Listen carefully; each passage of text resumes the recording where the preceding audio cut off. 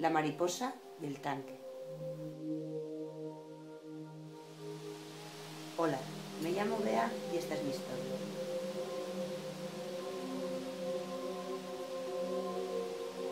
Eh, yo he vivido en Madrid, he vivido en otras ciudades, otros sitios, otros lugares, pero siempre sin sensación de plenitud, sin dejar nada terminado, nada finalizado, sin llegar a acabar el día, sin ser feliz, sin dejar rastros, sin dejar huellas, sin dejar nada de mí.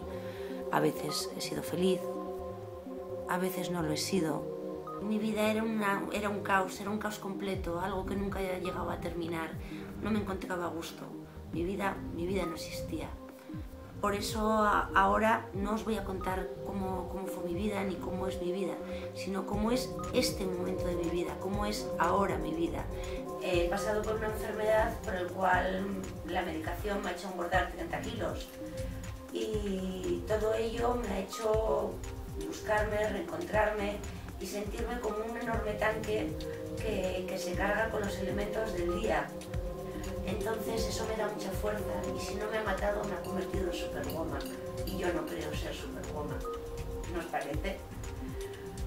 ¿Qué queréis que os diga? Estoy orgullosa de haber pasado por esto porque si me lo hubierais dicho hace tres años hubiera dicho que prefería, prefería morirme. Qué idiota era, qué idiota era. Estaba muerta cuando lo decía. Estaba muerta